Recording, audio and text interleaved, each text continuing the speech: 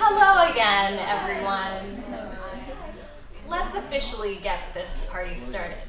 Uh, so, my name is Colleen Kim Daniher. For those of you who don't know, I am a Presidential Diversity Postdoctoral Fellow in Theater Arts and Performance Studies. Um, and as the principal organizer for this CSREA faculty grant, I want to welcome you to this conversation on comparative racialization and settler colonialism in North America. First of all, I want to thank the campus-wide support networks that made today's event possible, the Center for the Study of Race and Ethnicity in America, and its fabulous team of Tricia Rose, Caitlin Murphy, and Christina Downs, generously provided resources, guidance, and logistical support through, as I mentioned, a CSREA faculty grant. Thanks also to our co-sponsors, the Cogut Center for the Humanities, the Office of Institutional Diversity and Inclusion, and the Departments of English, American Studies, Theater Arts and Performance Studies, and Modern Culture and Media. And finally, I want to thank my collaborator, English PhD candidate Jennifer Wang, who was instrumental to the planning process throughout. So it is with great pleasure that I introduce today's visiting guest, Professor Iyko Day. Professor Day is an associate professor of English and chair of the program in critical and social thought at Mount Holyoke College. She is also co-chair of the Five College Asian Pacific American Studies program. Professor Day's research focuses on the intersection of Asian racialization, indigeneity, and capitalism in North America, exploring such topics as the settler colonial biopolitics of landscape art, the transnational coloniality of Japanese internment in Canada, the US, and Australia, as well as comparative approaches to indigeneity, blackness, and racial formation in Canada and the US. Her articles have appeared in journals such as Critical Ethnic Studies, American Quarterly, Amerasia Journal, and Canadian Literature. And her book, Alien Capital, Asian Racialization and the Logic of Settler Colonial Capitalism, offers a significant contribution, uh, sorry, published by Duke University Press in 2016. Alien Capital offers a significant contribution to scholarship on Asian American racial formation, settler colonial studies, and the emerging field of critical ethnic studies. By re-theorizing the history and logic of settler colonialism through its relationship to Asian racialization. That was one sentence. In depth readings of Asian American and Asian Canadian literature and visual culture, anchored by a rigorous engagement with Marx, Day argues that Asians came to personify the abstract and negative dimensions of capital, and in the process, challenges us to think about the racial dynamics of entanglements of land, labor, and capital. Please join me in welcoming Iyko Day.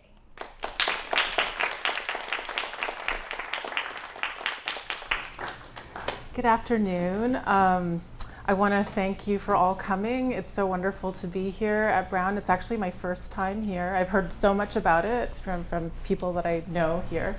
Um, but I also want to really thank uh, Colleen Kim Daniher, Christina Downs, Caitlin Murphy, and Jennifer Wang for um, organizing this event and giving me the opportunity to share my work. Um, I also want to thank the seminar participants from earlier today for their really stimulating questions and the discussion that we had earlier today. Um, I'm really honored by your interest and um, engagement. So I thought I would talk a little bit about the origins of the project and um, focus a little bit on some of the visual culture that didn't make it into the book as well as some of the visual culture that did. And I think I need to make sure I have my pointer thing. It's very high tech here at Brown. Um, okay, so, um, so the origins of my work on settler colonialism stem from the desire to understand Asian racialization beyond the comparative touchstones of anti-black racism in the US, where the racial content of Asian Americans is understood to be kind of between black and white. Um, as someone from Canada, um, I've always had a hard time with this idea that Asians were sort of in between black and white. Um, in this, in this kind of middle minority theory. So the reason for this difficulty was mainly kind of anecdotal or experiential. Uh, my adolescence and early childhood, or sorry, not early childhood, uh, adulthood, uh, were marked by uh, First Nations uh, blockades rather than the like rural urban blockades and rather than the urban uprisings um, that mark it now. So um, on the left, sorry, on my right uh, is the Oka crisis, which was a big part of, I think, my, I was in the 10th grade, and this was kind of like a big moment for me. And then also the history of, of the blockade, native blockade movement in British Columbia was something that was very formative in my thinking about race and difference and, you know, uh, in terms of my own uh, burgeoning consciousness about my uh, Asianness. And then, of course, this is sort of my contemporary reality of uh, urban uh, uh, uprisings around anti-black uh, police violence. So by reflecting on this distinction between Canada and the US, um, I'm not trying to minimize the or deny the violence of anti-black racism in Canada. Rather, I just want to acknowledge that the interplay of race and indigeneity has unfolded in different ways um, there than in the US, and that the legacy of indigenous dispossession has taken on a paradigmatic status in Canada. Can everyone hear me okay? In the back? Okay, good. Um, but despite these differences uh, that have shaped the sort of distinct racial and ethnic trajectories in Canada and the US, a notable exception uh, is the racialization of Asian North Americans. So when it comes to Asians, public sentiment and policy in Canada and the United States has really unfolded in lockstep. Uh, from the history of labor recruitment, exploitation, and expulsion of, of Asian labor, restrictive immigration policy, and segregated bachelor enclaves from wartime internment to post-war immigration reform. So my question was like, what can really account for those parallels given the vast differences in US and Canadian racial formation? So if from a broader North American standpoint, um, it, so how do, how do we approach this question if uh, Asian racialization can't be understood as, as a purely derivative form of anti-black racism? So I wanted to turn to, to settler colonialism for answers. So what this meant was that rather than thinking about the racialization of Asians as being constituted between blackness and whiteness, I wanted to explore Asian racial otherness in relation to indigenous land. So before I proceed, uh, I just want to make a few general, very general, um, broad points about settler colonialism, um, just to distinguish it from many other colonial formations that exist um, in particular franchise colonialism, which is the one that most people are familiar with. So, settler colonialism is a distinct uh, colonial formation for three main reasons that many people cite. The first is that settlers don't leave. In fact, you know, they're engaged in the project of replacing uh, native peoples. Secondly, settlers' primary objective is to acquire land rather than to exploit indigenous labor, um, which is distinct from, say, the exploitation of Indian labor in, in, this, in, in India, it's like in a British franchise colonial situation. So, um, so it's the, the point again here is to replace indigenous labor, uh, or sorry, uh, replace native people, not to exploit their labor. And the third, uh, which is that settler colonialism is a structure, not an event, to reiterate Patrick Wolfe's often quoted phrase, which means that the dispossession of indigenous people is continuous and never ends uh, there is no post to post settler colonialism. Um, so I thought I would talk a little bit about some of the romantic settler mythologies that um, I think are part of the uh, cultural uh, uh, projection of settler colonial mythology. And um, one is that uh, there's a kind of, as part of settler culture, you have a kind of imperialist nostalgia where um, you know, it kind of makes racial domination appear innocent and pure uh, where people mourn the passing of a, or transformation of what they've caused to be transformed. So you have a, a, a kind of identification, a romantic identification with a kind of noble savage figure. Um, a second aspect of the cultural formation of settler colonialism is uh, the practice of going native, where uh, the white man is kind of an ally and displaces the, uh, the responsibility for native genocide. So the white man is a kind of super native. Um, and um, so examples of these kinds of, of uh, I guess, settler colonial projections are, you know, rampant in popular culture, and I'll just give you a few examples. Uh, oh, sorry, uh, wrong slide. um, I was worried about this. Okay, let's see. Oh, okay. Well, I, sorry, I apologize that these, this is a PowerPoint presentation that I usually use a different set of slides. So this is, so I will be going back and forth through them. So uh, my apologies for that. But so in, uh, we see here with a paradigmatic example is Going Native, where uh, Kevin Costner, of course, is becomes the kind of uh, hero of this, uh, of the film in a more um, kind of uh, interplanetary context. You can not only go super native, but you can go super Na'vi and become um, a full-fledged kind of uh, trans, trans, transpose yourself into this kind of indigenous personality.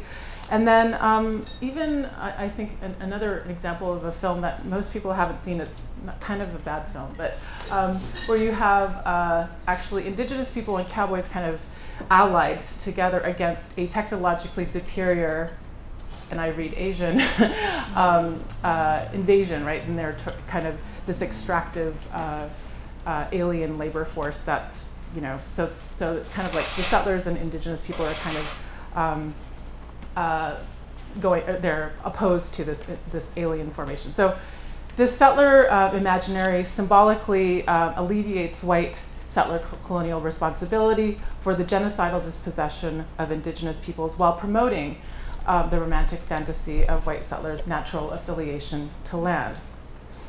Um, I also just, I, this is something that I was talking about today earlier in terms of my own uh, uh, struggles with this project as a graduate student.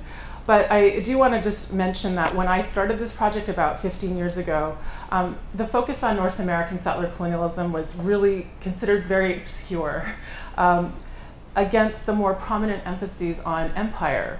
Uh, US empire at the time. And, and, when I started graduate school, Antonio Negri and Michael Hardt's book, Empire, had just been published, and so that was what everyone was doing.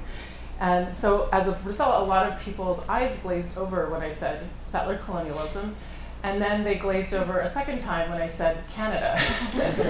um, so, uh, so while uh, most people could really readily accept Canada, Australia, that Canada, Australia, and New Zealand were settler colonies, it was harder at that time actually to for people to kind of get on board with this idea that the U.S. was forged out of British colonial processes that were analogous rather than exceptional.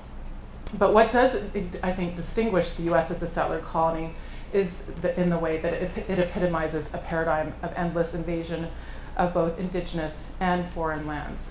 Okay, now I'm going to go back to my deSouza slide.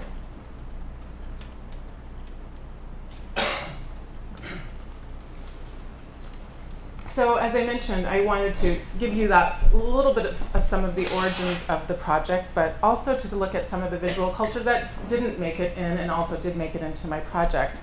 Um, so my book, for even though I do a lot of uh, abstract kind of theoretical work in, in my book, um, there's also a lot of visual culture. There's lots of pictures.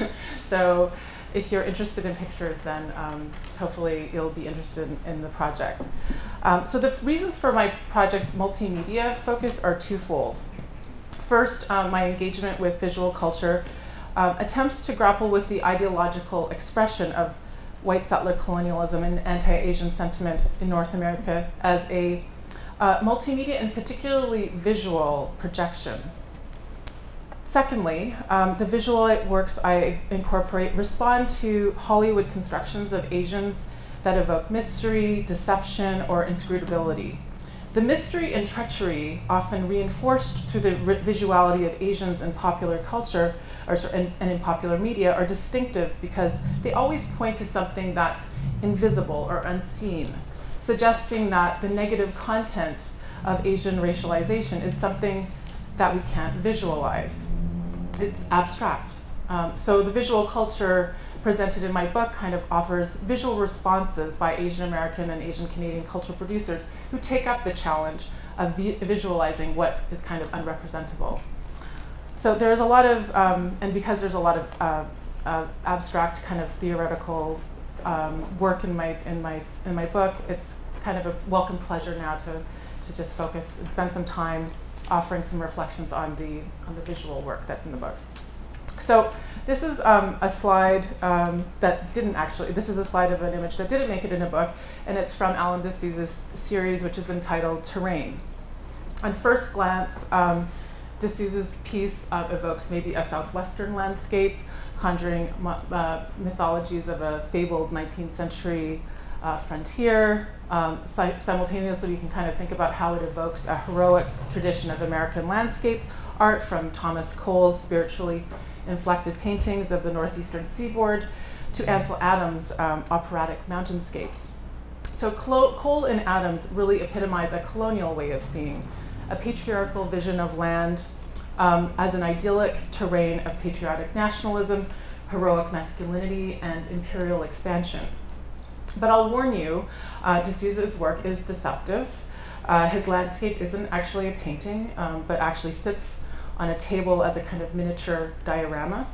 Um, the rocks and foliage uh, are constructed out of hair, eyelashes, earwax, dead skin, pubic hair that he collected off of his bathroom floor, which is really gross. but, but this is his point. Uh, uh, by, refigure, by refiguring and rescaling the landscape as bodily detritus, deSouza, offers a grotesquely queer rethinking of the colonial sublime, where the land's bodily vitality is refigured as the site of colonial decomposition and waste. It is a bodily distortion of nature and, and an assault on our senses. So while my own research is invested in the economic modality of Asian labor in North American settler nations, it also draws on the degenerative, and here the disgusting, to call into question settler mythologies invested in a pure and purifying landscape in the land. Um, and also, I think that given deSouza's relation to post-colonial India as an Asian American artist, um, his work also might represent a kind of transcolonial gesture of solidarity. So examining works like deSouza's in, in Alien Capital, um, uh, my book explores the way Asian North American literature and visual culture rework the economic modalities of Asian racialization from late 19th and early 20th centuries of a natural, excessive efficiency to 21st century analogies of Jewish upward mobility and productivity. I argue that the historical alignment of Asian bodies with labor and labor with capitals abstract and ne negative dimensions reflects a logic of settler colonial romantic anti-capitalism in which a romanticization of social life is understood as the natural visible world, which is epitomized by the figure of the native that the settler is trying to become, and on the other hand, rendering invisible, abstract, anti natural, and non human the figure of the Asian alien. Um, I push beyond existing approaches to settler colonialism as simply a native settler binary in order to theorize settler colonialism as a dynamic triangulation of native, settler, and alien positionalities. My book's transnational frame draws on corresponding racial policymaking in the US and Canada at key historical turning points from Chinese uh, railroad labor uh, in the 19th century to the late 1960s neoliberalization of immigration policy.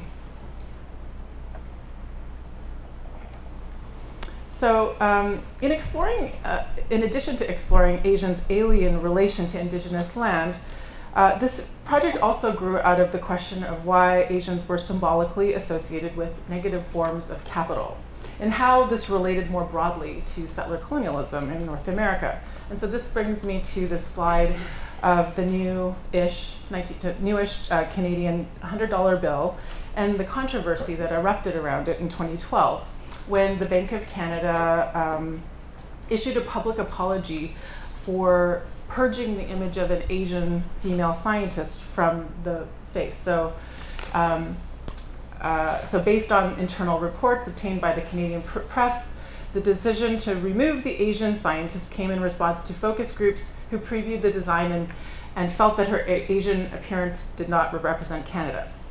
Um, so although the bank never actually released the original design, I would you know, kill to see it. Um, a spokesperson indicated that the image of a Caucasian looking woman was substituted to, quote, restore neutral ethnicity, unquote. um, another, you know, interesting uh, uh, definition of whiteness. So news of the, you know, of the bank's decision obviously uh, met a lot of criticism from Asian advocacy groups, particularly the Chinese Canadian National Council, who criticized the bank and urged it to stop erasing visible minorities from Canada's money. And even US bl uh, blogger uh, Phil Angry Asian Man, you, some of you might know, follow his blog, uh, weighed in on what you know he called uh, he well he weighed in on those who called attention to the stereotypical nature of you know if they had put this Asian scientist up you know they said well that would have been so stereotypical but he kind of retorts you know sure there's a stereotype of Asians excelling in math or science but let's be real. The reason why people didn't want an Asian looking woman on a hundred dollar bill is because an Asian looking woman couldn't possibly represent a face of Canada thus the, to, the rush to redesign her with more Caucasian features.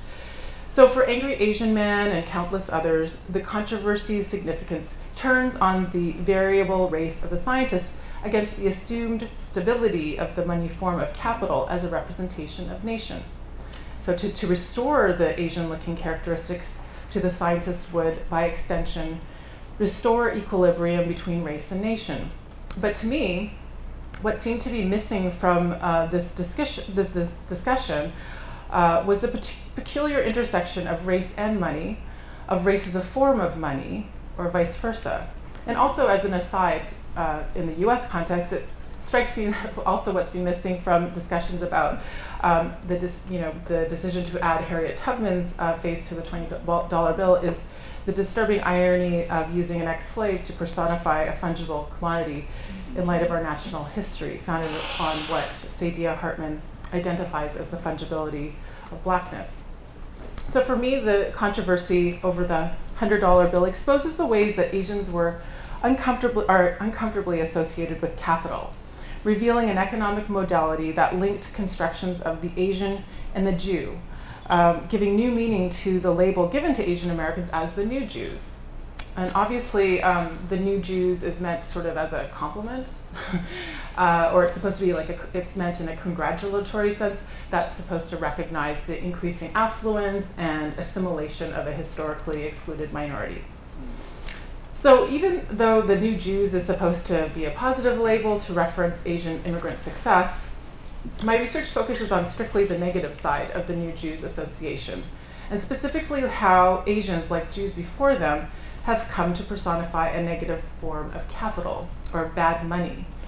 In particular, the Asian Jewish analogy compels a recognition of the economic context of modern anti Semitism as distrust or disdain of Jews, which can sometimes be motivated by envy or resentment of an identifiably separate group that's significantly wealthier than the population at large. So the economic conflation of Asians and Jews also has its own history. It's uh, quite a long history um, uh, that Jonathan Friedman has looked at, and he's noted that, like Jews, Chinese merchants were traditionally who were traditionally active through throughout East and Southeast Asia faced, like Jews, resentment, discrimination, and even the occasional pogrom as a result. Intersecting expressions of industriousness, greed, and evil have been infused in popular cultural representations of both groups in Europe and North America, from novelist George du Maurier's 1895 creation of the Jewish descendant Svengali to novelist Sax Rohmer's 1921 invention of Fu Manchu. Both characters are perverse, evil geniuses who aspire to world domination. The Canadian uh, $100 bill controversy is a heightened expression of this economism, uh, economism of racial form, insofar as the humanized economism of the Asian simultaneously represents the personification of capitalism. So what precedes the uh, economism of Asian racial form is the similarly destructive economism historically attributed to Jews, highlighting more of the, the more disturbing kind of registers of the new Jews label.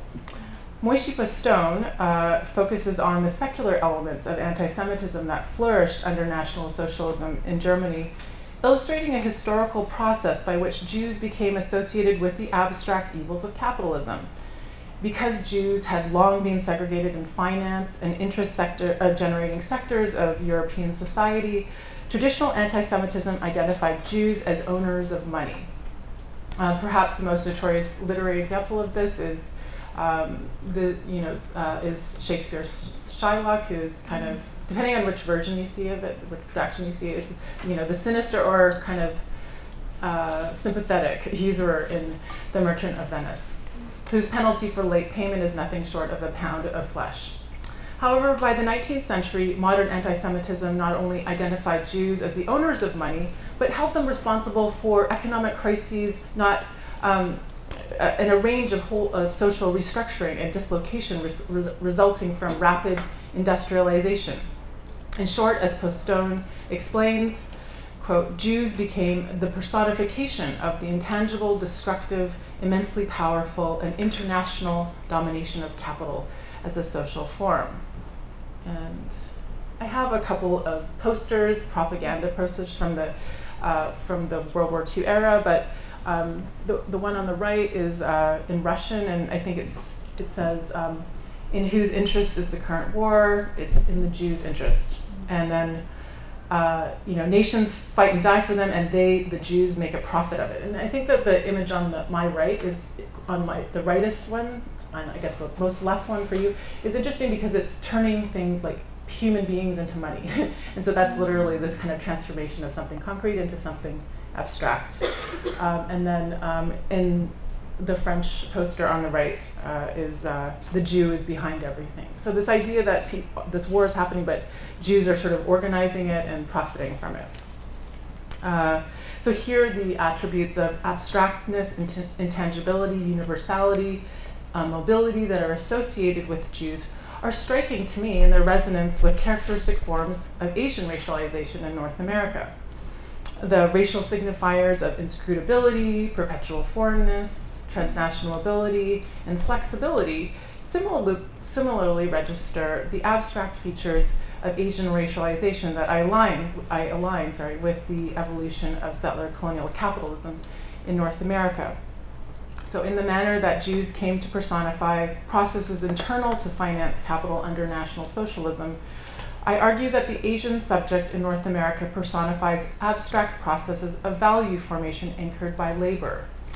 From the economic efficiency associated with Asian racialization, denigrated as cheap labor in the 19th century and valued as efficient in the 21st, Asian North American cultural production magnifies the manner through which Asians are aligned with abstract labor, a concept that anchors Marx's labor theory of value. Um, and I'm just going to pause here for a moment to elaborate a bit more on this connection between race and abstract labor. Um, in particular, uh, by emphasizing the category of abstract labor, my project diverges from the important work of scholars like Lisa Lowe, uh, David Roediger, and others who've argued that capitalism has profited by not rendering it abstract, but actually uh, produce, uh, but by producing racialized difference. Uh, for instance, in Lisa Lowe's critique of the labor theory of value, she hones in on Marx's homogenizing de- definition of abstract labor to demonstrate that capital has profited from the specifically gendered and racialized character of labor, qualities that are far from indistinguishable or abstract. Um, in short, she writes, quote, Asian immigrants and Asian Americans have been neither abstract labor nor abstract citizens, unquote. David Roediger extends this line of argument, asserting that far from flattening difference by buying undifferentiated units of labor time, US management studiously bought into inequality, preserving and continually recreating race, unquote. So while my project is absolutely in harmony with the claim that capitalism produces racialized difference, I propose that these differentiating effects are not actually in contradiction with Marx's formulation of abstract labor. What is missing from Lowe's and Roediger's critiques of abstract labor is the recognition, recognition of its dialectical relation to concrete labor. Co- concrete labor represents the racial, gendered, and qualitatively distinct form of actual labor that is rendered abstract as a value expression. Where I lo- locate the principal violence of capitalism is in the very way it abstracts or renders homogenous as commensurable units of labor highly differentiated, gendered, and racialized labor in order to create value. It is therefore the law of value that obscures the racial and gendered character of labor power. For value itself is what necessitates what we could characterize as a metaphoric process of turning particular labor into quantifiable units of abstract labor. So, in response to the suggestion that racialization is irreducible to the conception of abstract labor because of its gendered and racial particularity, no value would be produced if this were the case. Rather, all commodity determined labor plays a socially mediating role that is structured by time. Capital, capital maximizes profit by controlling time, socially necessary labor time. So nothing prevents the exploitation of racial and gendered labor from being a social necessity that determines average labor time. Um, indeed, one of the core one, one core logic of the settler colonial mode of production I explore centers on the systemic um, exploitation of racialized, gendered, and, sexu- and sexualized alien labor force. Uh, the structuring role of time is precisely the reason that capitalism is an abstract form of domination, what Petrus characterizes as impersonal domination. This doesn't mean that we don't, bear we don't daily bear witness to the brutal working conditions or the near enslavement of racialized and gendered labor. Rather, the very violence of labor abstraction is what subsumes the horrors of highly differentiated labor into an abstracted quantity that is commensurable with all other things. It is the duplicity of value as a social relation that Marx denounces. To put it another way, we don't control the products of our labor, we are controlled by the products of our labor. Um, therefore, while I agree that capitalism produces racialized difference, my my book defines social differentiation as a form of destructive abstraction anchored by a settler colonial ideology of romantic anti capitalism. Okay, so to recap, I know that was a lot to digest, right? Uh, my book's primary thesis, again, is that Asian North American literature and visual culture present a genealogy of settler colonialism that magnifies a key logic of romantic anti capitalism that misperceives capital relations as an opposition of concrete and abstract realms inspired by the aesthetic dimensions of Romanticism that glorified the natural world as a spiritual refuge from the corruptions of capitalist modernity, Romantic anti capitalism glorifies the concrete over the abstract dimensions. It glorifies the real, the natural, the thingly, the pure, the sensory. Uh, native peoples, who are characterized as existing outside of time and money, often place, oftentimes, personify that concrete dimension. Asian aliens, on the contrary, are a kind of biological expression of the abstract dimension, the personification of the destructive uh, abstraction of capitalist modernity. And evocations of this kind of romantic um, anti-capitalism are, you know, uh, common, I think, in American culture, or they're actually per- pervasive. From, you know, Henry David Thoreau's excursion to Walden Pond to live without material comforts, um, to the feature films I've mentioned, which characters kind of go native. Um, but also, even I'm thinking of Chris McCandless, who, in you know, he went to live, you know, he burnt, set fire to his cache, basically, to live in the Alaska wilderness. And so there is this kind of idea that you need to rid yourself of this of this modernity. And so th- those are, and actually, burning your cache will not do anything to halt capitalism. So don't don't try that.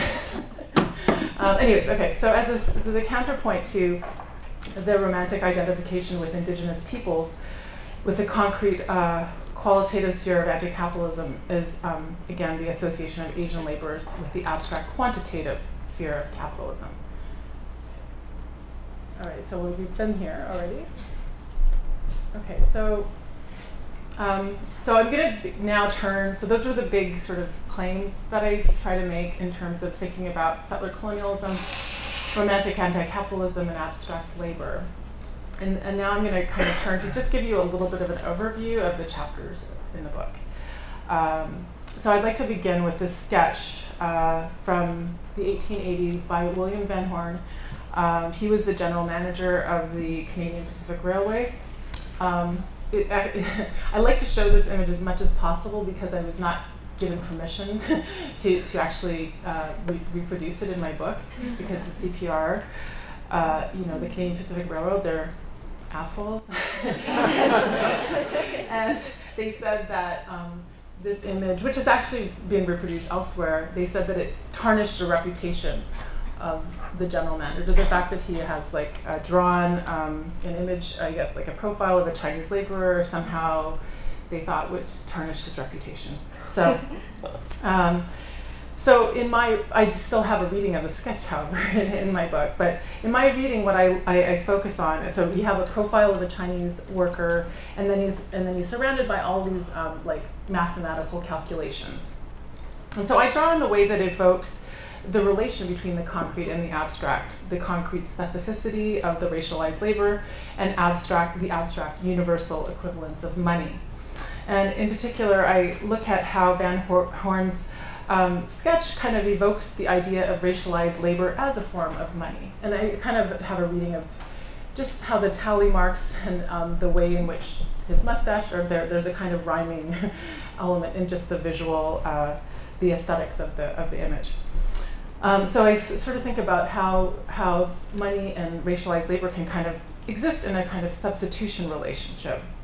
So um, I argue that this is a form of racialized substitution that kind of establishes my book's primary claim that the economism of Asian racialization arises from an alignment of Chinese bodies with time, which is the basis of value. Uh, this establishes the relation between Chinese labor as a personification of abstract labor, which represents a social average of quantified labor time. So, following the co completion of the Transcontinental Railroad, Chinese bodies increasing, become increasingly associated with degeneracy and vice that become the mark of their excessive efficiency. This temporal excess is rooted in the social deprivations of Chinese domesticity and civic life that render Chinese labor both non human and also a threat to the qualitative value of white labor. So, analyzing two works um, about Chinese labor on the Transcontinental Railroad, I focus on the range of uh, gender and sexual substitutions rep represented in Richard Fung's Dirty Laundry A History of Heroes, uh, which is a Canadian film, experimental film, alongside Ma Maxine Hong Kingston's China Men. I argue that these works demonstrate how the abstract racialization of Asian alien labor is, is, sorry, is established through their alignment with a perverse temporality. While Fung's and Kingston's work expose the fungibility of alien labor conditioned by biolog biologized notions of time, they also point to the queer potential of Dipesh Chakrabarty's concept of History 2, that resides within abstract labor but does not reproduce the logic of capitalism. Uh, my second chapter turns its attention to the concrete dimension of capitalist social relations personified in artistic depictions of the settler landscape. So analyzing the photographs of Tseng Kwong Chi, which is the bigger black and white um, photograph, and Jin-me Yoon, who's um, this is like sort of the front and back view of this huge uh, slide or th this huge um, series of photographs that she's done. Um, I argue that they're photographic citations of 1920s and 1930s era landscape art parody its romanticization of whiteness as nature, as a form of nature during a heightened period of Asian immigrant restriction. In particular, Tseng and Yoon respond to themes of regenerative whiteness and identification with indigeneity that are personified in the majestic landscapes by uh, American artists Ansel Adams and Gutzon Borglum, and Canadian artists Emily Carr and the Group of Seven.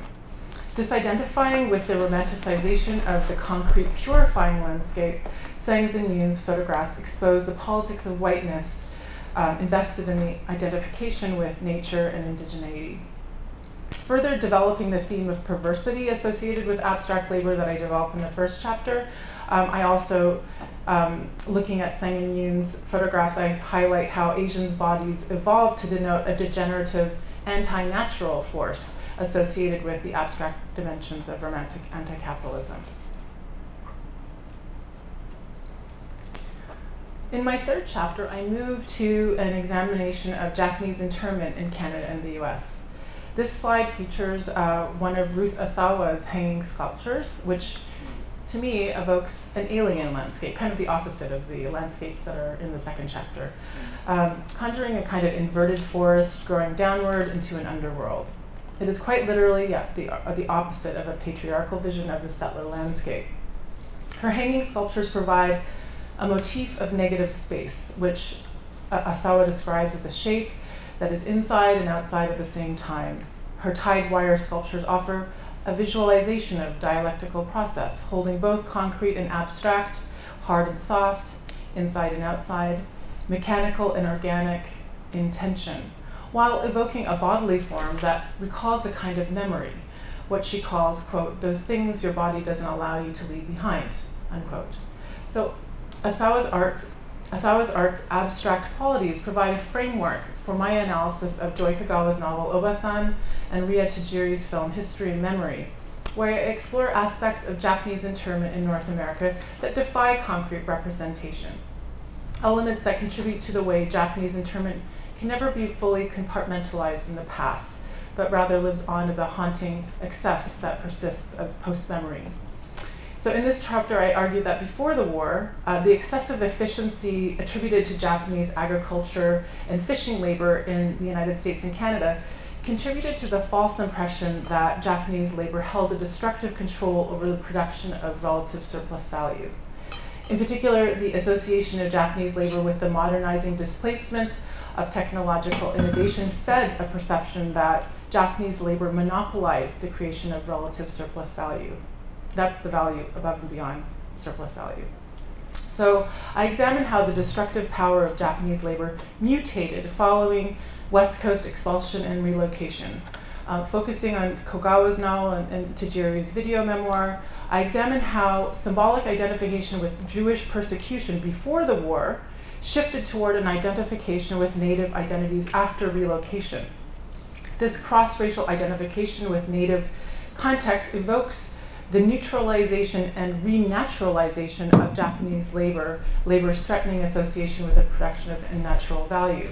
So, following relocation, Japanese labor is reconstituted as an ideal surplus labor force through the symbolic and spatial proximity to native relocation and dispossession. Um, my fourth chapter uh, examines the persisting and evolving economism of Asian racialization in the post uh, immigrant restriction era or the post exclusion era after the United States and Canada removed race-based immigration criteria in 1965 and 1967, respectively. So this slide is meant to um, a signal like the resentment towards monster houses in Vancouver. Um, uh, and so you can see that there's a huge house right beside the small house, and and um, uh, and so there's a lot of anti-Asian racism around the construction of these of these kinds of homes. Um, so uh, in this chapter, I look at, uh, I focus on Ken Lum's multimedia works along with Karen Tei Yamashita's novel Tropic of Orange, tracking, tracking their reconceptualizations of labor, labor migration, and neoliberal identity politics. Their works um, point to the capacity of the neoliberal border to recruit and restrict surplus labor populations from around the world while preserving the racialized abstractions that surround both high tech flexible Asian labor, and working class and poor labor. As such, free trade becomes a further conduit for the fungibility of bodies as capital across borders and the continuing perils, perils associated with the new Jew. Far, far from symbolizing multicultural inclusion, I suggest the border is a central motor for the expanded fulfillment of a settler colonial mode of production that relies on a disposable migrant labor system. Um, and so I'm going to take a moment to, I'll come back to this image, I think. This could, yeah, I'll come back to this image, but um, I'll just uh, talk a little bit more about the artist Ken Lum, which many of you probably aren't familiar with necessarily, um, and I'll just spend some time talking about him. Uh, so Lum, Ken Lum is a is a um, Chinese Canadian artist uh, who is often associated with the Vancouver Photo Conceptual School. Um, he is a student of Jeff Walls. Um, and as a multimedia artist, I think he offers a really interesting vision of Vancouver. And uh, it's often very unsentimental, kind of sort of darkly humorous.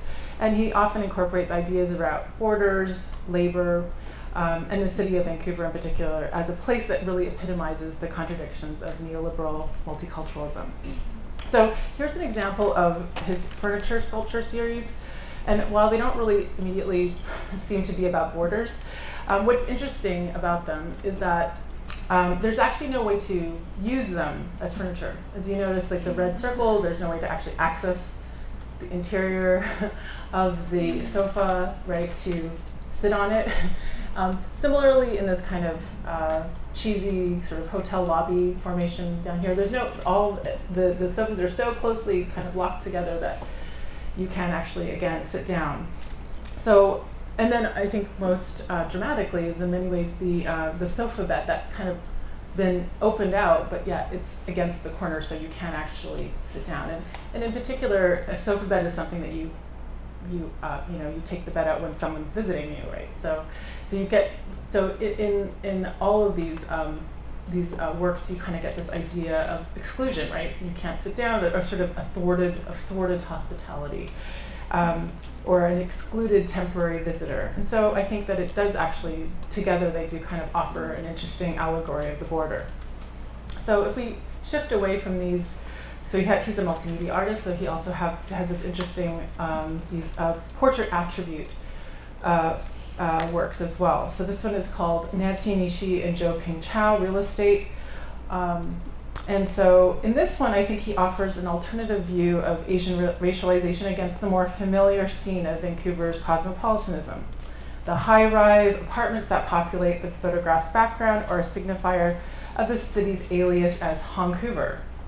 The name, which is kind of used in both celebratory and pejorative contexts, stems from the significant Chinese population in Vancouver, as well as the city's purported architectural, cultural, and economic resemblance to Hong Kong. So redirecting a pop, pop emphasis on exaggerated artifice, in Nancy uh, Nishi and Joe Ping Chow Real Estate, Lum's advertising motif almost works too well. I mean, if you saw this, you might actually think it's actually an ad, right, for uh, this real estate. So removed from the art gallery context, which is another thing he does, he often puts these, these huge billboards outside of the gallery. Um, the only element that kind of uh, alerts us to its status as art is the real estate part. which is kind of in this, um, has a kind of Flintstones quality to it. so the unrealistic veneer of the lettering kind of humorously underscores the realness of real estate. In addition, to, in the contrasting relation between image and text, between the concrete buildings in the background um, in the photograph and the abstract textural representation of buildings as real estate commodities, we can make out a subtle reference to the antinomy of concrete and abstract dimensions of romantic anti-capitalism. Here, the abstract representation of concrete real estate is reduced to a comically inadequate imitation of actual concrete buildings. Yet at another level, the portrait of Nancy Nishi and Joe Ping Chow adds to the more racially ominous registers of the friction between image and text. Their relation to the Flintstones real estate logo adds an air of illegitimacy and artifice to the earnest expressions that they bring to their professional endeavor. On the one hand, this sense of illegitimacy broadcasts their artificial relation to property. Their belonging is rendered a mere abstract signifier against a more concrete sense of citizenship. On the other hand, um, the artificial concreteness of their profession as realtor, realtors also allegorizes an anti-Asian animosity stemming from the perception that Vancouver has been overrun by Hong Kong real estate investors, which is kind of about the monster house image that I showed at the beginning. For, uh, for example, Kat Katharyne Mitchell notes that in Vancouver, Hong Kong Chinese are perceived as responsible for house price escalation as a result of using homes for profit through the price sorry through the practice of speculation rather than as using them as places to live. Although the roots of the city's demographic shifts and spatial reconfigurations are the result of state-led efforts to expedite Vancouver's integration into the global economy, the racial outcome of these processes has effectively reinforced the perception that Asians re represent pure market rationality. Their desires represent the psychology of capitalist expansion. Asian investors and business immigrants have only economic rather than human motivations. By contrast, for white Vancouver residents, as Mitchell also points out, purchasing homes secures profit yet does not have to be pursued as profit the personification of capitalism that renders Asians less human, removed from the concrete associations that align whiteness with property and belonging. Sorry, or less human, so it aligns whiteness with property and belonging in contrast. So, as such, Nancy Nishi and Joe Ping Chow real estate evokes the form of racial anxiety associated with the abstract sphere of foreign investment and real estate speculation. In this light, the celebratory discourse of legislated multiculturalism functions as a screen hiding the fact that the infusion of Asian foreign investment and rise of Asian migration to North America underscores the abstract economic rationality that is mapped onto the Asian body. through the substitution of economic desirability for racial desirability, which still continues to exclude the racialized migrant poor um, in immigration reform, we can see how the Asian embodiment of economic extraction once again threatens the concrete human values invested in traditional white settler belonging rather than flexible citizenship. In response, Lum's work exposes the contradictions of multicultural belonging by disidentifying with the visual tropes of multicultural inclusion in his depictions of Asian working class and professional labor. So I'm just going to um, close with some brief points in relation to a newer artist that I've discovered in the process of writing this book. Um, and he is the Vancouver born and currently London based artist Tommy Ting. Um, so um, I was writing my book and I was struggling with how to end it. And, um, and my mother told me about seeing an exhibition featuring Tommy Ting's, uh, which kind of gave me like the, uh, an idea about how I could finish the book. And um, so, so it's so the, the reason I, I, was interested in Tommy Ting's work is this is this is a on the this image is of of uh, it's it's called the Iron Chink, it's in the uh, museum in my hometown, Victoria, BC. It's in the Royal British Columbia Museum. And basically, what it is, is, is a fish gutting machine. Um, and you can see in my terrible photograph of it, but you can see the actual letters iron chink at the top of it. Um, and um, it was invented in the early 20th century, and it was kind of named for the Chinese butchery crews it replaced in salmon canneries along the Pacific, um, the Pacific coast. And so, in light of the arguments in my book, um, the Iron Chink, you know, evokes the dehumanized abstraction of Asians as machines, but also evokes the way Asians as machines are designed to cut human labor time, which is a threat to white workers. So, um, Tommy Ting's piece is called um, "Machine." and then he has a he has a reference to um, the actual iron chink, and he says, "Oh, it's invented in 1903, found at the Gulf of Georgia Cannery in Steveston, British Columbia, re refabricated in Beijing, China. So I actually like to think of his piece as a kind of monstrously reanimated Asian Frankenstein, retelling, rebelling, sorry, I should say, against its creator with all of its kind of China red attitude. So part of the dark comedy of Ting's piece lies in how it perfectly embodies the dehumanized abstraction that I've tied to Asian racialization throughout my book in its shiny new, shiny new modern form, Machine not only evokes the continuing metaphorization of Asian labor, but also dramatizes its ongoing allure through its vibrant china red color. In its seductive appeal, Machine hyperbolizes the sexualization of Chinese female the, of the Chinese female migrant who was subject to the 1875 Page Law, the uh, United States fir first federal immigration law designed to bar entry to Chinese women based on their presumed sexual immorality. In this light, as a feminized Asian Frankenstein, Machine stands as an ironic invocation of the sexualized and racialized migrant system so central to the settler colonial mode of capitalist reproduction. But equally, Machine's China red paint clearly evokes the color of communism. On the one hand, uh, the China red color cheerfully promotes the communist ideal of collective ownership over the means of production, and on the other, the color alludes to communism's association with the mechanization of human labor. But the reality is that machine remains, at the end of the day, a commodity whose value is commensurable and thus exchangeable with all other commodities. As the monstrous personification of dehumanized equivalence, Asian Frankenstein expresses the contradiction between the value of human beings and their exchangeability as equivalents. And then my last, very last slide. Uh, which is the cover of my book, is also a, a work by Tommy Ting. Um, so elaborating on the relation between Asian labor as an expression of the fungibility, uh, of fungibility, sorry, is the image I use on the cover of my book, which features a piece called Workers Posing as Workers by Tommy Ting. Um, and so what you can't really tell from the cover is that um, it's actually one of these, on the right, it's a, sorry, I apologize for the blurry photograph, but it's actually one of those um, cardboard or sorry wooden structure where you can stick your head through the holes where the faces are mm-hmm. um, and and so it kind of obviously powerfully engages with this idea of the fungibility of asian alien labor so like a kind of currency asian labor is subject to endless substitution and quantification which is itself a crucial feature of capitalist abstraction. So, to close, if abstraction is ultimately uh, tied to value production, making things commensurable for exchange, my book draws out the racial implications of that metaphoric process while initiating a call for the radical incommensurability of life and labor in the Allied struggle for historical self determination for racialized aliens and indigenous peoples. Thank you.